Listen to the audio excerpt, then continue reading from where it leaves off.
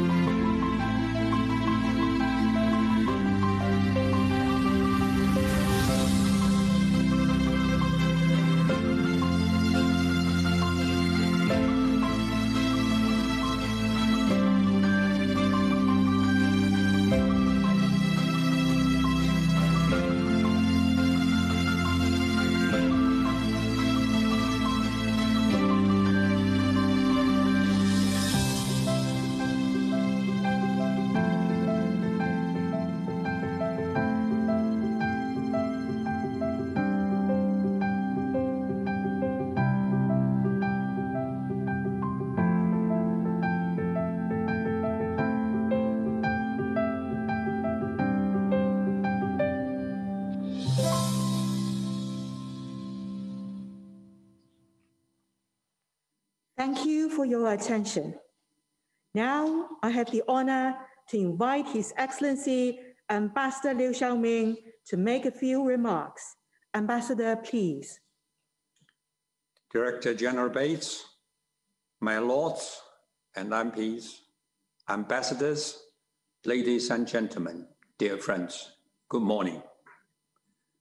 Thank you for joining me and my, my wife, Hu Pinghua, at our farewell reception online. In December 2009, I was appointed new China's 11th ambassador to the UK.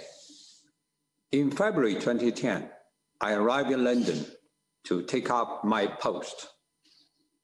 Now I've been working and living in the UK for 11 years. This is the longest and the last tour of my diplomatic career of 47 years. It has been an honor to be the longest serving Chinese ambassador, both in the history of China UK relations and of all Chinese ambassadors of all time. I will cherish the memory deeply for the rest of my life. These 11 years have seen tremendous changes in both China and the world. As President Xi Jinping said, the world is experiencing profound changes unseen in the century. In these 11 years, I've witnessed historic leaps in China's development, a new era for socialism with Chinese characteristics, historic changes in the relations between China and the rest of the world, and up and downs and twisted turns in China-UK relations. Here in the UK, I witnessed the four general elections and two referendums. I've observed the entire process of the UK leaving the EU and embarking on the journey of building a global Britain. And I have the honor of working with, among others, four British prime ministers and six foreign secretaries. I've been to all corners of the UK, from Isle of Shetland Islands in the north to the Channel Islands in the south, from England to Scotland, from Northern Ireland to Wales, and from the Crown dependencies to overseas territories. I have worked with the people from all walks of life in this country to advance China-UK cooperation across the board. Together, I have made over 700 speeches, contributed more than 170 articles to mainstream newspapers, and had over 170 interviews with the mainstream media. As President Xi Jinping said, if you never forget why, where you started, you can accomplish your mission at an interview with a British magazine Diplomat 11 years ago upon arrival, I used the acronym IDEA, IDEA, to describe my missions as the Chinese ambassador to the UK. I is for interest. I will work to expand the common interest of China and UK. D is for dialogue. I will promote dialogue, which is always better than confrontation.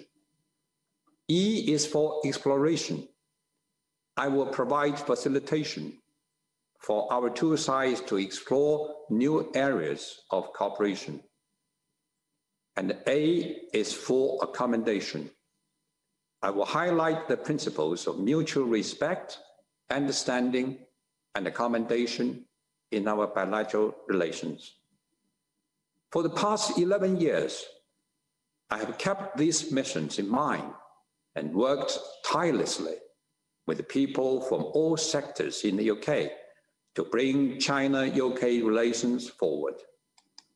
First, our common interests have grown. The pie is getting bigger and bigger. In the past 11 years, China-UK trade in goods almost doubled, with British export to China increasing by about 20 times, making China the third largest export for British export of goods. Chinese investment in the UK has surged by about 20 times. The UK is now the second largest destination in Europe for Chinese investment. Hinkley Point C nuclear power plant has been the largest single investment from China in Europe and become a flagship project of China-UK cooperation. There have been many firsts in China-UK financial cooperation. The UK was the first major Western country to issue RMB sovereign bond, the first to join Asian Infrastructure Investment Bank. London also witnessed the issuance of the first Chinese RMB sovereign bond outside China. London is now the world's largest offshore RMB exchange center and the second largest offshore RMB clearing center. The total clearing volume has exceeded 50 trillion RMB yuan. The Shanghai London Stock Connect was officially launched, connecting for the first time the Chinese capital market with a foreign one and enabling many Chinese companies to benefit from London's world-class financial services. China and the UK are also committed to working together to promote the high quality development of Belt and Road Initiative, and we have signed an agreement on cooperation in third markets. Second, China and the UK have more dialogue mechanism for exchanging views at top level. Leaders of our two countries have maintained communication and exchanges and this provides driving forces for the growth of China-UK relations. In the past 11 years, China and the UK have held five sessions of the Prime Minister's meeting, five sessions of strategic dialogue, and eight sessions of economic and financial dialogue. Our two countries also launched the high-level people-to-people dialogue and high-level security dialogue. The definite highlight of these exchanges was President Xi Jinping's super state visit to the UK in 2015.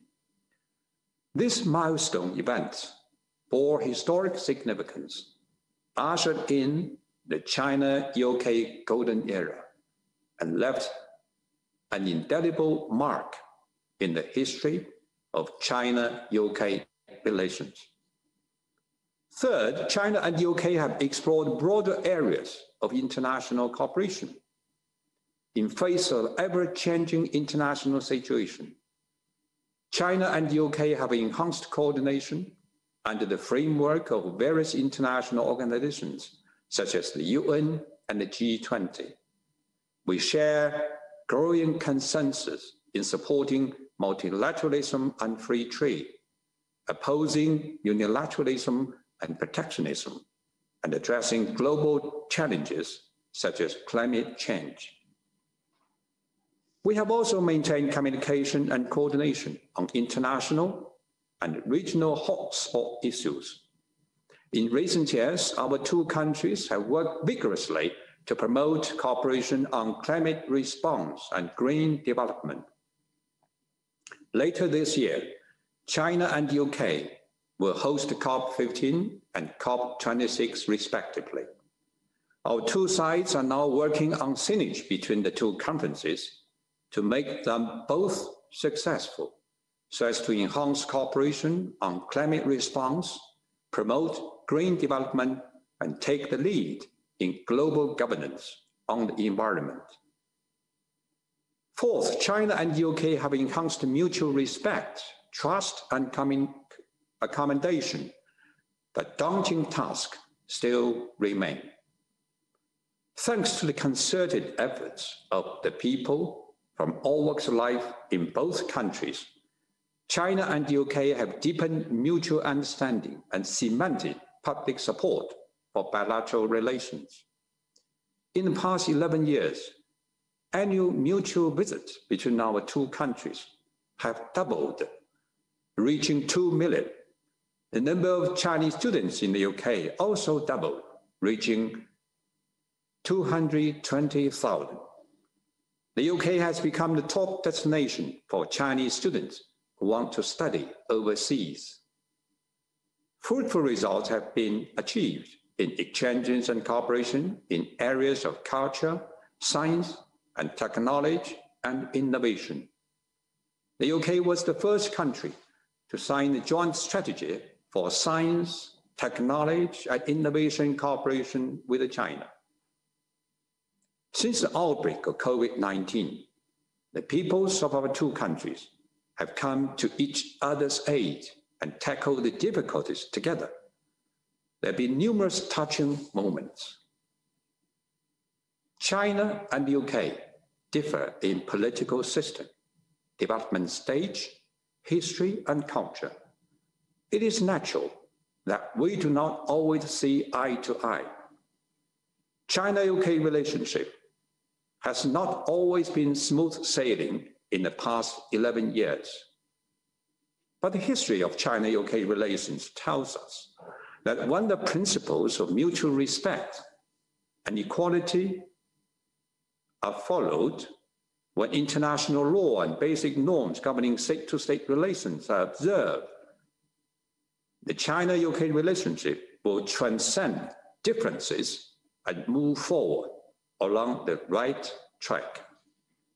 At the moment, the worst pandemic in a hundred years is ravaging the world, precipitating the profound changes unseen in a century and bring deep adjustment to the international landscape.